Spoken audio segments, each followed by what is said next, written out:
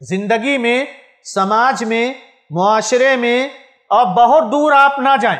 ख़ानदान का अगर मसला लें, अगर हम ये रविश अख्तियार करें यह तरीक़ा अपनाएँ कि अपनी ज़िंदगी में मुआफ़ करने का, हारने का, भूल जाने का ये तरीक़ा अपनाएँ तो हमारे ख़ानदान एक मिसाली ख़ानदान बन सकते हैं।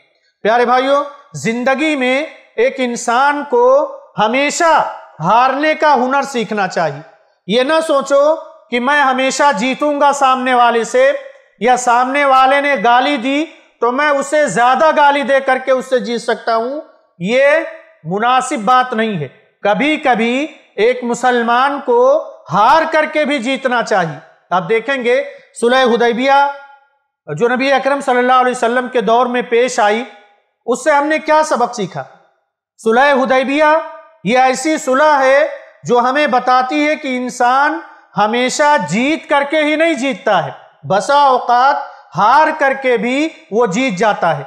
सुलह हुदैबिया के मौके पर जब सुलह लिखे जा रही थी तो मुसलमान ऐसा लग रहा था कि दब करके सुलह कर रहे हैं। नबी अकरम सल्लल्लाहु अलैहि वसल्लम से बाद साहब कराम ने इस बात का ज़िक्र भी किया कि अल्लाह के रसूल, क्या हम हक पर नहीं हैं? क्या आप अल्लाह के रसूल नहीं हैं? नबी अकरम सल्लल्लाहु अलैहि वसल्लम ने फरमाया, क्यों नहीं? हम हक पर हैं और मैं अल्लाह का रसूल हूँ। तो साहबा ने कहा, अल्लाह के रसूल सल्लल्लाहु अलैहि वसल्लम, फिर इस कदर दब करके सुलह करने का मतलब क्या है? आप सल्लल्लाहु अलैहि वसल्लम ने फरमाया, अल्लाह का यही फैसला है। और बाद में यही सुलह जो दब करके की गई, ये फतेह मक्का की जीत का सबब बनी।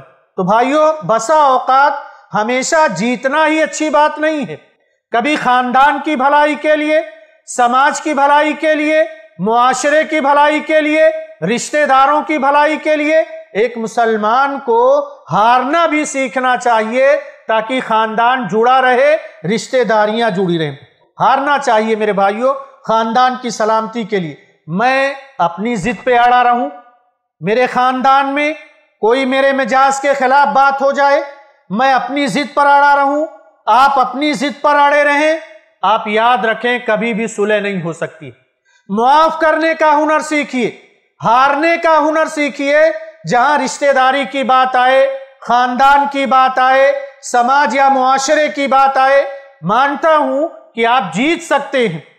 आप बदला ले सकते हैं, इतना कादिर हैं, लेकिन आप हार करके देखें, बदला ना लेकर के मुआफ करके देखें, दिल को एक तसल्ली मिलेगी, सुकून मिलेगा, खानदान जुड़ करके रहेगा, रिश्तेदार जुड़ करके रहेंगे बस हमें अपने अना की कुर्बानी देनी है, अपने गुस्से को पी जाना है। ऐसे ही फ़ायदेमंद इस्लामिक वीडियोस देखने और मनहज सलफ़ पर किताब व सुन्नत की तालीमत को आम करने में हमारा ताउन करें, ताकि आपके लिए ज़रिया नजात, जन्नत के हसूल का सबब, साथ ही माल में बरकत व इजाफे का ज़रिया भी बने। आमीन। जजाकल्ला खैरन।